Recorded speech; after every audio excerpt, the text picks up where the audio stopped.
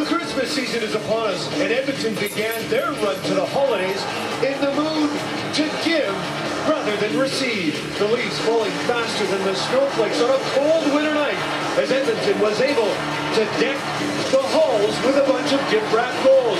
And while the offense was an unexpected present, there was a jolly old St. Nick that delivered with the help of his reindeer a shutout and a lump of